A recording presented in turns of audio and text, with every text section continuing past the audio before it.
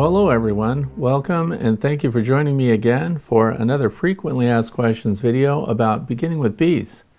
This is frequently asked question episode number 15 and today is Friday, May 3rd. And it's warmed up outside and uh, the bee numbers are high, everybody's flying except this morning because it's raining again. So anyway, a lot went on this past week. I was down in uh, North Carolina, Black Mountain region, and uh, had a good time. Saw some wild bees, saw some native bees, honey bees flying around, honeysuckle, everything else going on down there. And it was in the 30s up here while I was gone, 70s, 80s down there. Now we're back and the temperatures are climbing and things are blooming and it's looking good. So let's get started today. If uh, you're new to this channel and you're new to these frequently asked questions series, Please feel free to write your questions down in the comment section below this video, and we may get to those one day as well. Uh, normally, I get all the questions I need within a couple days of posting one of these videos, and I'm also taking questions that uh, appear under other videos that I've posted regarding honeybees. So this is geared towards beginners. If you're a, a seasoned beekeeper with many years under your belt, you may find this boring, and that's okay. Uh, we're geared towards getting people started. This coming week, a lot of people have asked, uh, did I get the new bees yet? And by new bees, we're talking about the Saskatraz bees that are developed in Saskatchewan, Canada. They're a cold hardy breed of bee that uh, can handle varroa. They're hygienic. They are disease resistant. And most importantly, if you live in places like I do in the northeastern United States, uh, they're cold hardy. So we're going to be doing a step-by-step -step how to set up your beehive where to place your beehive, how to install the bees, things that you need to have to get started with bees. That question gets asked a lot, and I'm kind of surprised because all over YouTube, there are many beekeepers who have demonstrated how to start with bees, install packages, nukes, and things like that. But uh, since people want to see me do it, I guess that's what we're doing in the coming weeks. So, next Friday, frequently asked questions number 16 will be dedicated to one topic beginning with bees. And we're going to show you step by step, setting up your hive, getting your package, putting it in, and what to expect. When to release that queen, things like that. So it should be a lot of fun. And it's going to be a great week. And the weather is going to be perfect. You watch. It's going to be awesome. All right, so let's get right into the first question. Comes from Dave Kirkaby. What happens to colonies in the wild that lose a queen and don't succeed in getting a new mated queen? First of all, we're talking about honeybees and, and specifically Apis mellifera, which is a managed honeybee that's non-native to the United States. And uh, often they escape through swarms and other means. Sometimes they abscond, they'll depart from uh, a beekeeper's hive, and they'll take up residence in a tree or something. So those are feral colonies of bees. They're really not wild bees. They're feral because they were domesticated and they were under control of some human somewhere. And they got out and they occupied a suitable cavity like a tree. So now what happens? And in Pennsylvania, by the way, we have an ongoing study where people are evaluating feral colonies that have been in trees for long periods of time and they're going to be doing testing. Unfortunately, we had a huge problem this winter, and a lot of those bees died out. So the colonies that were under study, that were going to be sampled, that were going to be observed, and we were going to learn a lot from those, how they're making it through these winters, uh, the colonies are dead. So I don't know how many are left right now, but all the ones in my region uh, died out. Even those that have been in those bee trees for years and years, now they're gone. So what do they do? Uh, often people think that a feral colony has occupied a specific tree or a specific, you know, hole in the rocks or in some structure that's been abandoned. Very common in abandoned houses, for example, especially the older houses that don't have insulation in the walls. Those are cavities that bees like to move into and set up their colony, and that becomes the beehive. So uh, if the queen dies, you know, queens age and eventually have to be replaced, and that colony of bees will replace the queen with a new queen. That new queen has to fly out and mate with drones from other colonies. That's a kind of risky move because that queen may fly out and be snagged by a bird. Dragonfly might get her. Uh, she just may not return mated. The weather can turn bad. She could fly out on a beautiful afternoon, storm comes in, grounds the queen, queen gets eaten by something else. Anyway, bunch of reasons that queens don't make it back. Now, the colony, without subsequent queens, if there's no open brood to turn into a queen cell, uh, they may die out completely. Now, when they do that, um, is that colony doomed?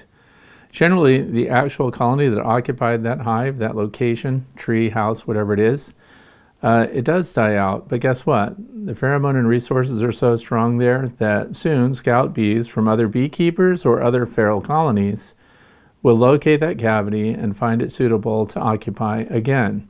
So often, even within the same season, uh, you'll have a colony die out and uh, be replaced. The good news about a die out like that is parasites that might exist in that colony, Varroa destructor, for example, uh, those die with the um, with the bees. So it's not like the Varroa continue in that colony after the die out, and that the other bees that come in get reinfected with Varroa. So uh, it could be, you know, a good cleansing thing because they would die out. And then the new colony coming in would have to discard all the dead bees, clean house, and set up again. So often, unless they're checking and observing, which was supposed to be the program this year, uh, unless you're frequently observing, you don't really know if there's been a complete changeover of that uh, colony. So it happens a lot. And I think a lot of times when people think that a colony of bees has existed on their own for 10 years and things like that, uh, unless you're observing it all the time, you don't know it's been uh, replaced. And so it's just, it's a cavity that's in use, not the same colony. So they do change out on their own or they get reoccupied by another swarm. So that's how they succeed in getting a new mated queen. Uh, a new colony just moves in if, uh, if they fail. So that answers that one. And then this second question is from One Old Curmudgeon. Interesting screen name. Anyway, what are the pros and cons of upper entrances? How can you tell if the hives are vented enough or too much? Okay, um, first of all, the pros and cons of upper entrances. I don't know that there are any real cons to an upper entrance other than if you have an upper entrance, as we have in this hive here, see this little hole, Usually you have an upper entrance in the handhold or just under the telescoping cover of the hive, and that's to shield it from weather. Uh, who uses the upper entrance? The foraging bees. So those foraging bees fly in and out, and they get direct access to the bees that are storing the honey, the nectar that's going to be turned into honey.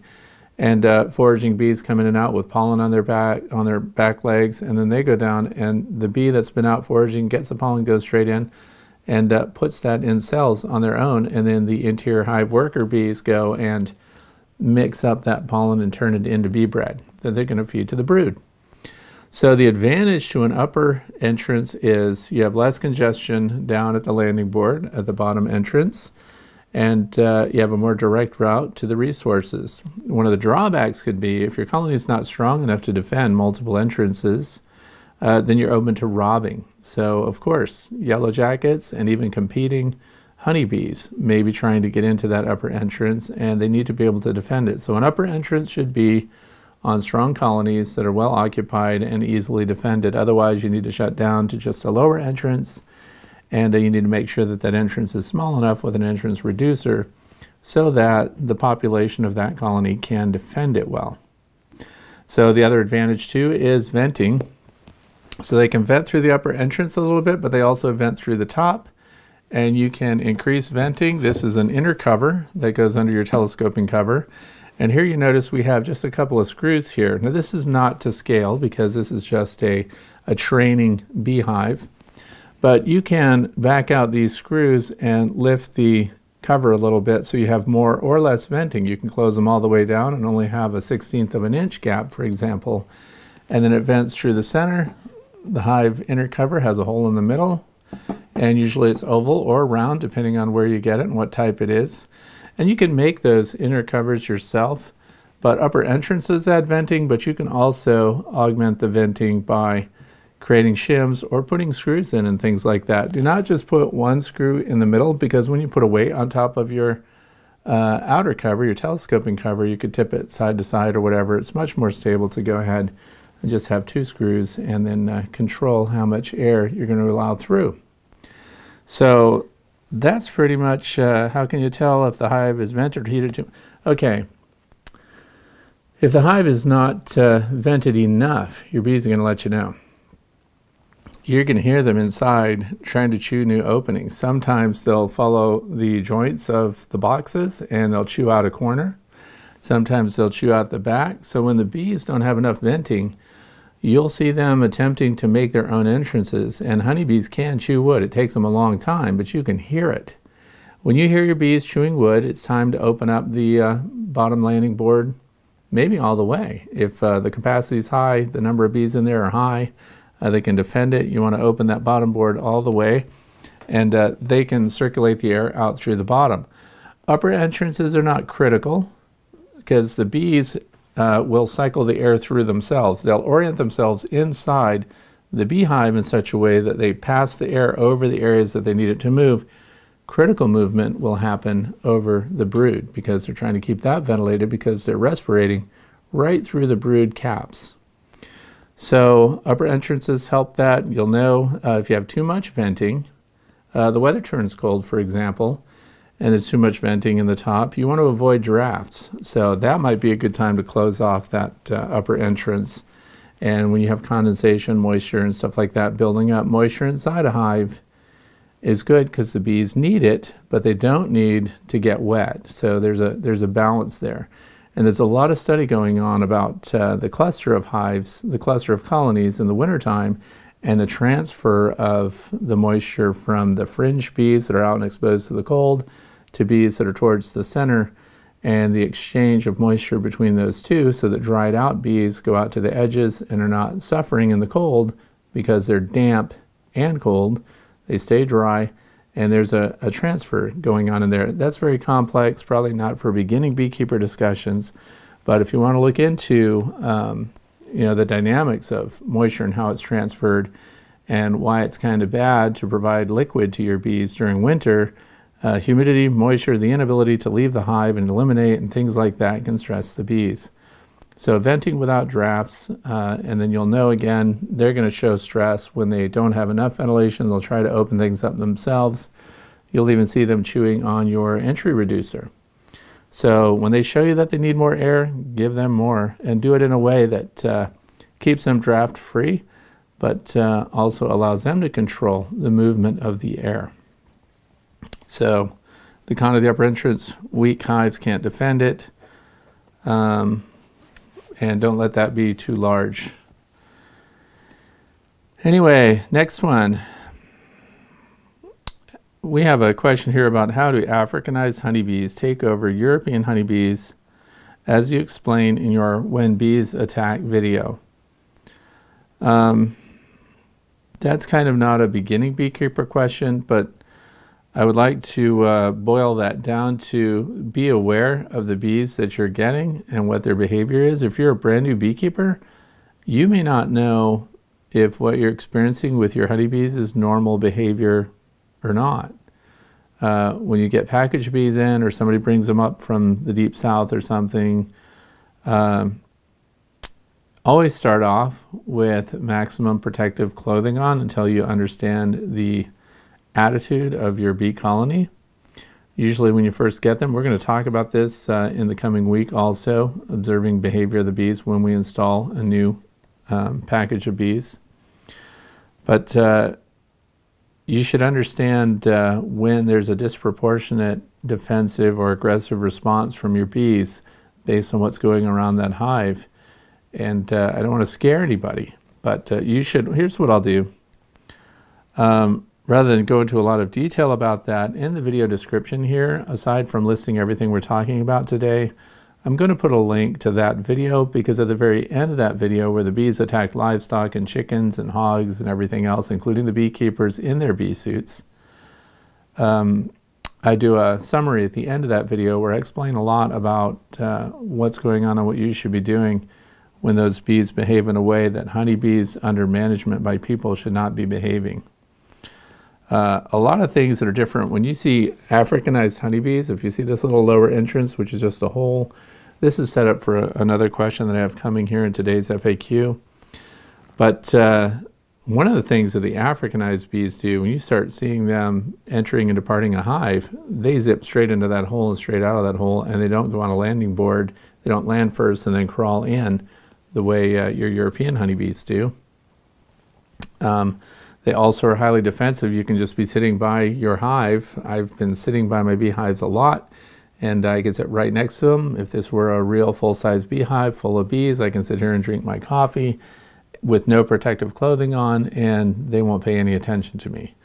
If they're Africanized bees, their defensive range is, is much expanded, and their response to your presence is much more intense. So instead of just a couple warnings from bees coming from your colony, you would get uh, a large number of bees coming after you. And if you get up and walk away and the bees follow you, and uh, you've got hundreds of bees after you, and uh, you walk 50, 100 feet away, even more, up to 1,000, 1,600 feet away, you walk right past your house and across the yard, you still have bees after you.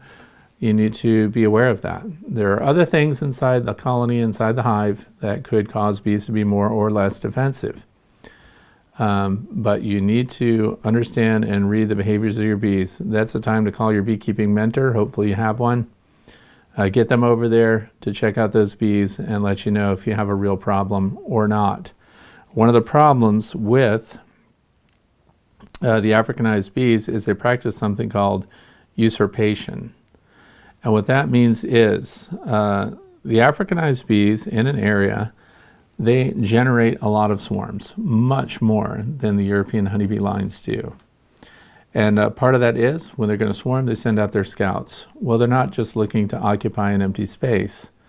Africanized honeybees will have scouts that land on landing boards of colonies and they'll test those landing board defenses. If there are not enough guard bees to intercept those foragers, those scouts that land on that uh, landing board and they get by and they get inside, they will uh, start to increase their numbers. Now, once they're inside, they can start to take on the scent of that colony. So then the guard bees are even less apt to intercept them.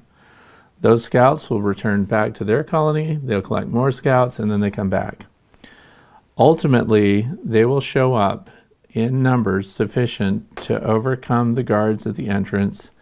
They will make a ball, they'll cluster around the queen in that colony, and they will cook that queen and kill her. And uh, what happens then is they bring their queen in and uh, take over the colony.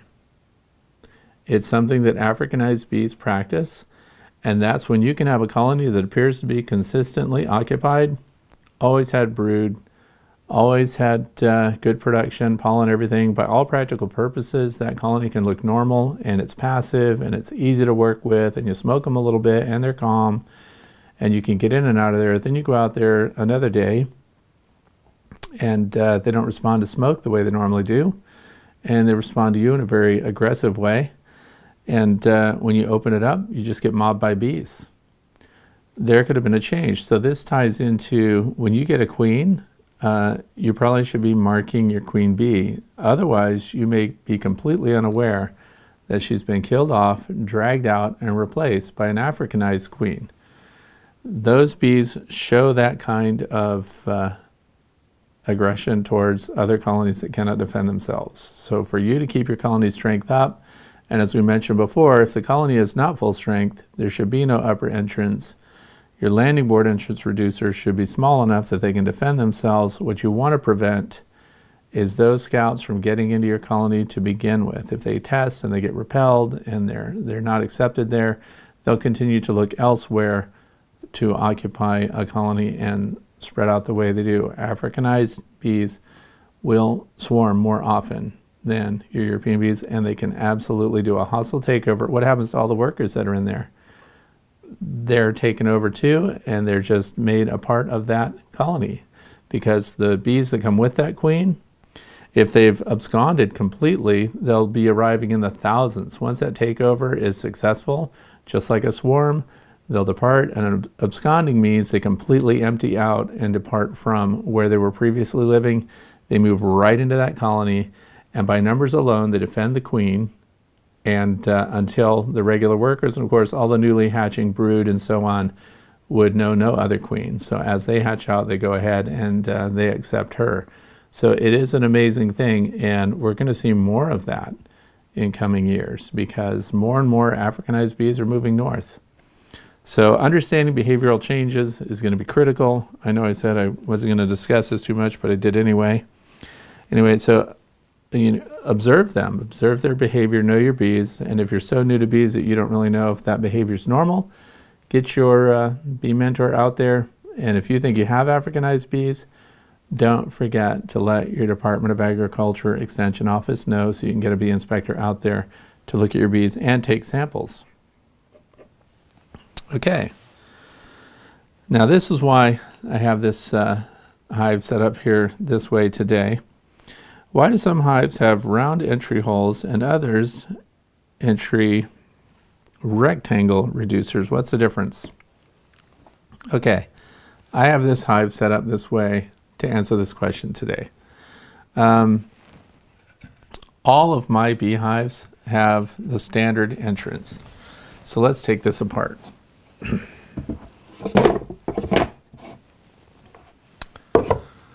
this is your normal bottom board, and this will go right at the bottom of your colony. Then you're going to have an entrance reducer in it. This is what all of my hive configurations are whether it's a flow hive, whether it's a standard Langstroth hive, they all have the bottom board with this space, and then you have your bottom box, and it looks like this. So when you're setting up, we're going to talk about this this week, of course. When you're setting this up, you'll have a deep brood box, you'll have that entrance reducer, so you have control, and then you'll have a queen excluder if you're going to put another box above that, but since you're just starting out, you're going to have bottom board, deep box, inner cover, and then your outer telescoping cover. And that's it, very simple. Now the question is because, and you may have come across this on YouTube yourself, if we turn it around just to represent a bottom board that is solid across, sometimes it's just a flat board, and then you have this little hole here in the bottom and the bees come and go. The thinking is a lot of people that set their hives up this way, well, if they've seen a you know a hole in the side of a building or if they've seen a, a beehive in a tree, sometimes the entrances, of course, are oval and uh, there's a space below them. But that's a problem for the bees that you are keeping, and I'll tell you why. When your bees uh, die inside the hive, and they do, they, uh, first of all, the round entrance you have no control over. It's either open or closed. So once they have that in there, your bees are coming and going out of the bottom of the box. And there's a space below that. And then, of course, there's the bottom board below that. Uh, bees die inside, and specifically drones die inside. When you have a hole like this, uh, the worker bees that are trying to clean out the hive have a huge challenge. A worker bee by herself can remove and discard another worker bee once they die. Uh, drones are bigger and heavier and they're just in the way. When they die in there, a single worker bee, if here's the hole and here's that space beneath it, that worker bee tries to get a hold of that drone and drag it up through that hole. She just can't do it.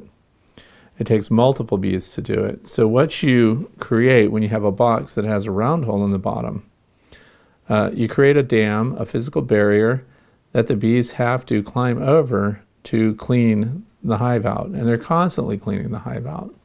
Sometimes you'll see if it, I have an observation hive, uh, and I've seen in the past where there are drones dead in there that they all walk around. Nobody wants to pick up the drone because it's a lot of work. It's going to take multiple bees. It's going to take cooperation. Where if you just have a standard entrance like this, and you've got your entrance reducer. In fact, let's take the entrance reducer out. Let's pretend it's a really strong colony. Uh, you've got this entire width and everything that falls from inside the colony down to the bottom here uh, is on this level. So even a worker bee can drag a drone out by herself and fly off and discard that. When they're dragging drones, they don't get very far. They fly out and they just bomb into the ground. Uh, not too far from the hive, and then that drone just gets eaten by bees or by ants or something else. And hornets will come by and carve them up too, wasps.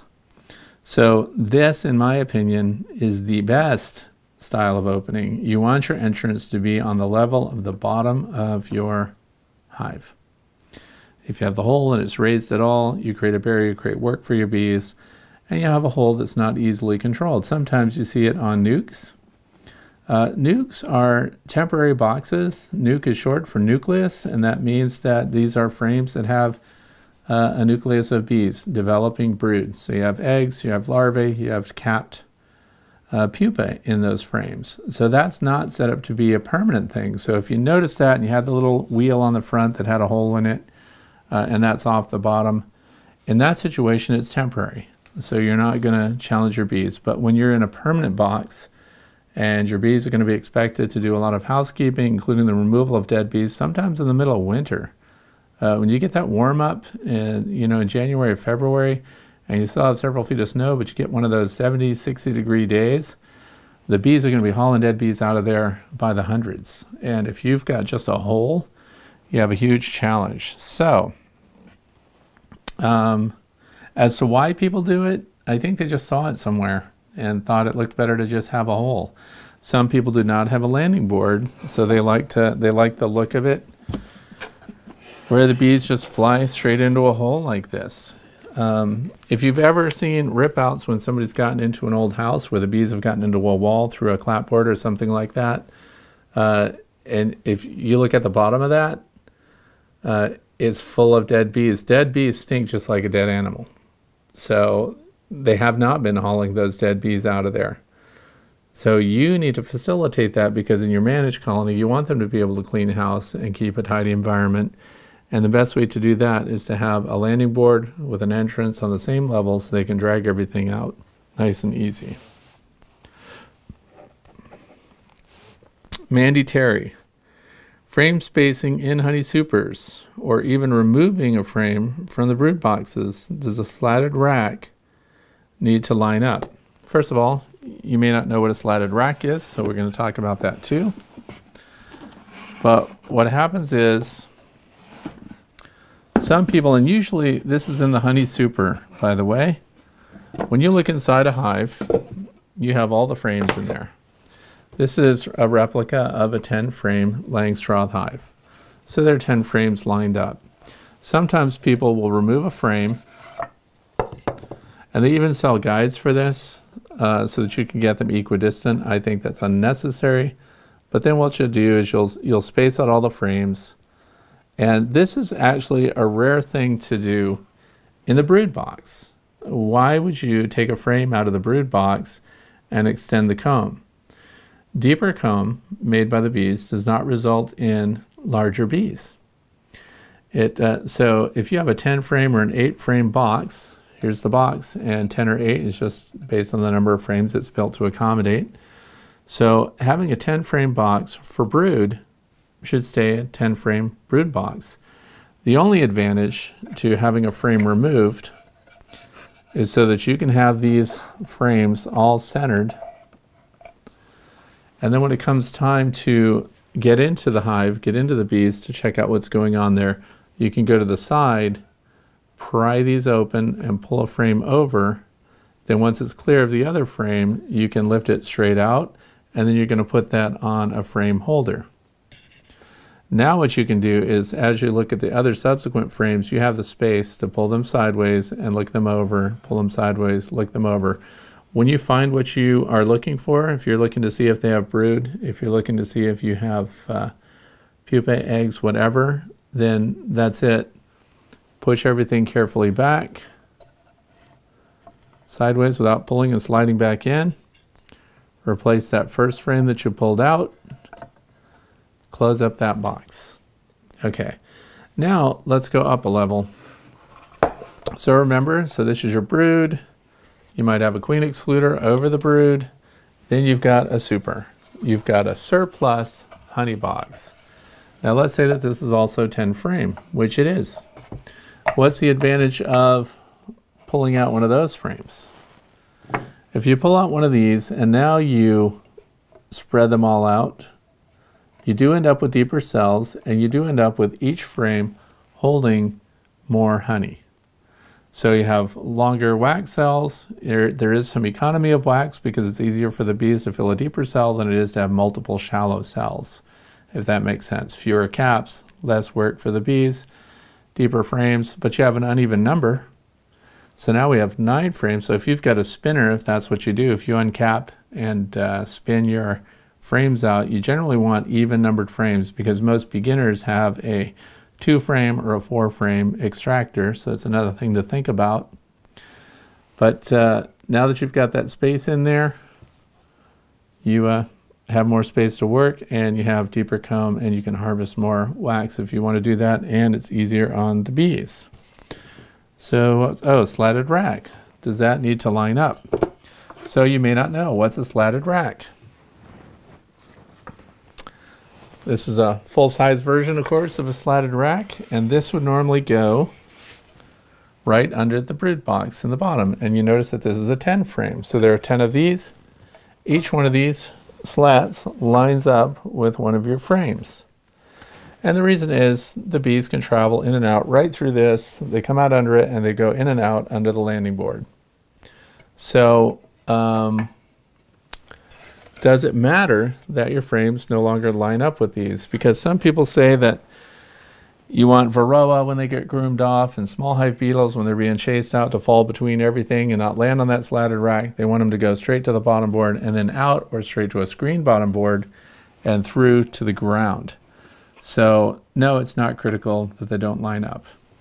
There's still a space there. If it hits the bottom, the bees have access to everything. They'll just drive out the varroa or the small hive beetles, whatever it is, and they'll get them right out of the colony just the same. It is more efficient if your slatted rack lines up with all of your frames and the bees travel in and out without having to go around or over anything. Uh, the more direct routes we provide for the bees, the better. The easier we make it for them to clean up their hive, the better. But if there's bee space and they can get over the slatted rack and around it and, and access everything, it, you can still do that. So if you really want to pull the racks, of course, based on what I've just explained here, there's no reason to pull frames uh, and have deeper cells in the brood box. Uh, it's only an advantage when you're talking about your honey super. So if that doesn't line up, it's not the end of the world. It just reduces a little bit of the efficiency. And uh, that's that question. Number six is by Grayson Smith. How do you strain or filter honey? Okay. How do I personally do it?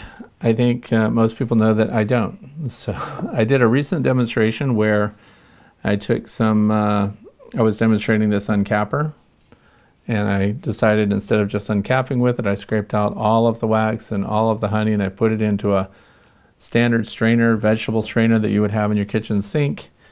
And uh, we just put that in a hot box. So I let the sun heat it up and we drain the honey out of it. That is the most filtering that I do. For those of you who have seen my other videos, I have a pile of flow hives and I use flow hives to extract my honey. If you don't know what a flow hive is, it's a mechanized frame. That's what's up here behind me. These are uh, plastic frames that the bees fill up the honey cells that when you shift the uh, frame with a, a, key that sticks in the top, they shift like this and the honey drains through these channels all the way through the bottom, out the back, and into a jar. And then you have a jar of honey. It's raw honey, it's unfiltered, it is frame by frame directly into jars, and uh, any particulates that are in it would be wax and propolis. There are no bee parts. And uh, all of that is edible for people. So it's really a matter of personal preference. If you want to strain out bits of uh, wax and propolis and things like that, there are bucket strainers that sit right over a plastic five gallon bucket. You can pour your honey through that and it will collect those little bits and pieces. But the way I do it, it's totally not required. You don't, you don't have to strain anything out of your honey unless it freaks you out to have little particles in your honey that normally float to the top anyway, so you can scrape them off. But if you little bits of propolis, some people eat propolis for health and nutrition. Some people eat bits of wax. Everything that comes through in that honey would be considered edible by people. So personally, I don't do any straining or filtering Uh, the most basic straining would be the stainless steel um, vegetable strainers that you put on your sink. I'll put a link to that down below so you can see what it is. And uh, that's it. Now, maybe that honey with more particulates in it uh, would be apt to crystallize or solidify in the jar. That's not the end of the world either, as far as I'm concerned, uh, because you can reheat it a little bit. You can get that up to 110 degrees and, and remelt the honey and reconstitute it so that you can use it as a liquid, or you can just scoop it out and use it as a semi-solid. So I personally don't strain anything. And uh, next one is from Carlos Murphy, frequent commenter. Carlos, thank you as always. Anyway, uh, do I have small? Oh, do I have small hive beetle issues? And uh, have I heard of the nematodes? Okay, yes, I've heard of the nematodes. Considering the weather where I live and uh, the way my bees are, remember I have the Varroa resistant hygienic bee lines, and now we're going to test out Bee Weaver, or the bees I've always used. I'll put a link to them down in the video description. Excellent bees. A lot of my viewers have bought Weaver bees this year already, and they're already doing fantastic. So, those of you who are giving us updates on the bees and how they're doing, that's really good to know because I like to know that I'm steering people in the right direction. I like to know that they're doing great things. And as uh, you've already heard from me today, we're going to be doing uh, Saskatraz bees. So I'll have weaver bees and I'll have Saskatraz bees uh, in my apiary starting in the coming week. So they do a great job of routing small hive beetles out. Now I've been, uh, I have not Varroa boards, but I have sliding trays underneath that are nice and deep. I probably should show those in one of these videos and they're segmented off and they're under the Flow Hive 2 configurations. And I put uh, sticky mouse traps down in there. And uh, I catch if they're if they're grooming off a Varroa or whatever, I can look at those little sticky traps. I can see them up close. They're on a white background. I can put them under a microscope. I do have dead bees with Varroa on them. So I need to show you some micro photos of those. I have them all in petri dishes. They're all drying out. Uh, it was very interesting because when the bee died, the mite died right on it and stayed put. The mite didn't leave. Interesting there too. Uh, so I'm going to show some good photos of those. I have everything I need for that. But I found one small hive beetle. So do I have a problem with small hive beetles? I really don't. Uh, the most I've ever seen is like one or two beetles. By the way, they call those things small hive beetles. Those things are big. That's like a third the size of a worker bee. And uh, they're easy to spot. I also have my Swiffer dusters in there, also in the in the trays because I want to catch those and see what they look like. But the small hive beetles where I live, uh, they're out there. I mean, they're around. I got one. So I got one. Uh, you see them in the top, all the way back in the corner, one or two maybe, and on the landing board, all the way in the back, where the bees uh, kind of push them out. They um, they're supposed to show up there. Other people in my area have said they've they've had small hive beetles. I personally have a hard time finding them because I want to photograph them and I want to look at them up close. Um, also, I'm going to try to catch some in those beetle jails, they're called. Same company that makes the Swarm Trooper um, swarm trap also make something called a beetle jail that uh, slides down in between the frames and you can catch some beetles. So I've, uh, as of today, I ordered some of those and paid full price. They're not giving them to me for nothing. And uh, I'm going to evaluate those to see maybe I'm just not seeing the small hive beetles. Maybe the bees are getting them out so fast that I don't get to see them. So I'm going to put traps in there and see if I can get some, get a close look and share that with you. But the nematode end of it, Nematodes are parasites that go directly after small hive beetle developing larvae. So the life cycle of small hive beetle, you know, the adult beetles can fly. They have those little club antennae just like uh, Japanese beetles do, and they, they smell everything in the air, and their the little club antennas orient towards beehives, and they can smell the um, the pollen that's being stored in there because that's mixed with uh, honey and it's fermenting and it puts on its own odor, puts out its own odor, and then those small hive beetles fly into your beehive. So the bees have to stop them at the landing board. I'm assuming my bees are stopping them at the landing board. I don't see the small hive beetles, so I don't know. But that's how they do it. They home in. But then they go through their life cycle. So they're going to lay eggs in there. Their eggs are going to hatch, and their eggs are going to be little worms, little white worms that come out. And they're either going to drop through the bottom if you've got screen bottoms, or they're going to come right out the front and they're going to drop into the ground and then they're going to pupate in the ground. And that's when they come out as adult beetles ready to fly again and go anywhere. Thank goodness the varroa mites can't fly. They need to attach themselves to a bee, and the bee transports the varroa mite. The small hive beetle can fly. I think our blessing where I live is that the weather is so bad that uh, they just don't do very well. The other thing is my chickens roam through my apiary all day long. You know, there's always one or two chickens cruising through there. If you saw my previous uh, video that I put up this week uh, on how to support your beehives on iron T-posts, that creates an area where the chickens walk freely underneath. They can scratch the ground if they want to. If they find nematodes, not nematodes, if they find those uh, worms of the small hive beetle, they're going to eat them, whether they're on their way down or on their way up. The thing is, those those worms are going to travel at night. So I think having a healthy wild bird population is a big help. I think having chickens is a big help and cold weather is a big help. Now, if I put those nematodes into the water, nematodes will come in suspension and you'll pour them right onto the ground near your beehives. You better be sure that you have uh, small hive beetle larvae first. The nematodes are just going to die out. They actively seek and destroy. So they will hunt out the beetle larvae. So in that way, they're fantastic. Uh, but then again, if you don't have the small hive beetles and their larvae, then the things that depend on them, like those nematodes, will not uh, survive. So you need to know you have them so you can feed them.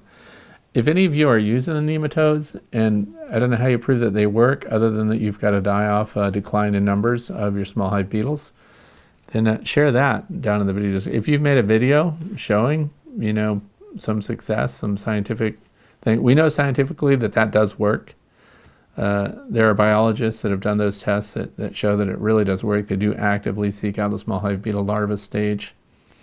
But uh, so far, I don't need them because we just don't have it. I know that they can ruin your honey.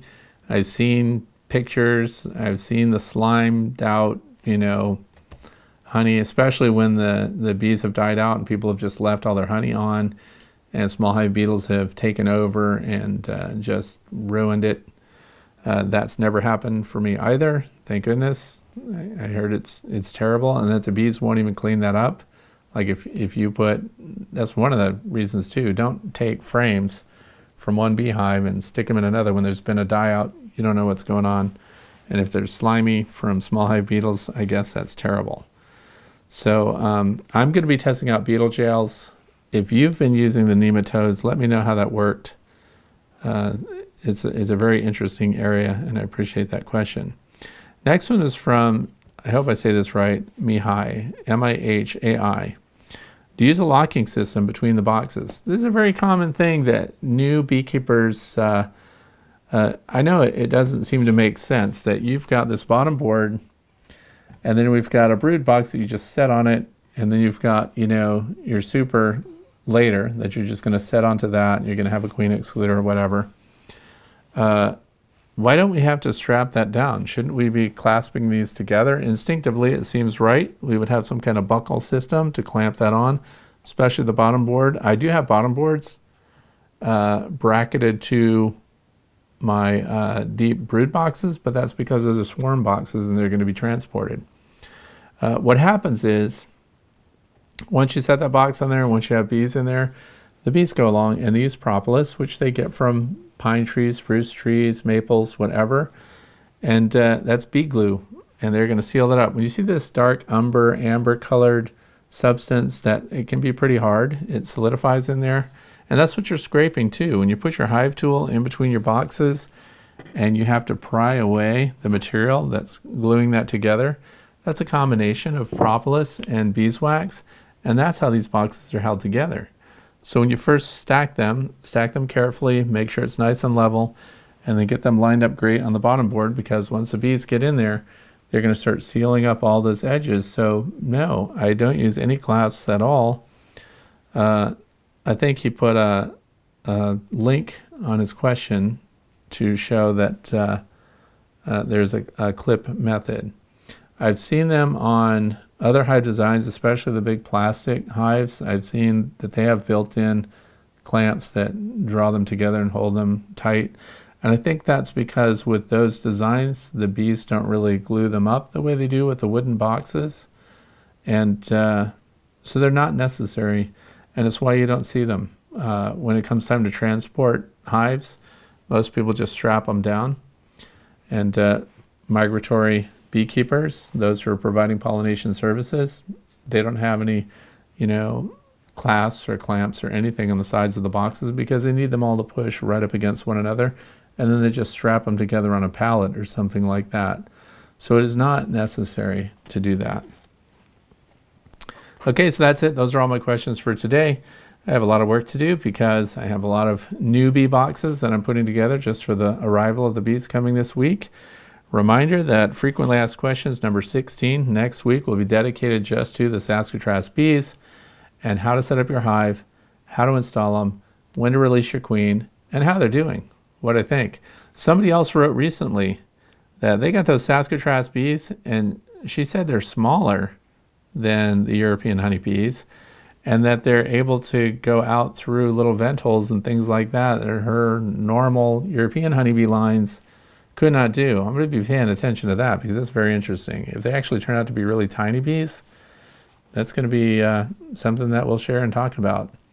So look forward to that. Thank you for watching. If you have questions, please write them down in the uh, comment section below this video. And thank you for spending your time with me today. And there is a link, of course, at the end that shows all of these uh, frequently asked videos as a playlist. So have a great weekend and enjoy your honeybees. I hope the weather is fantastic. Thanks for watching as always.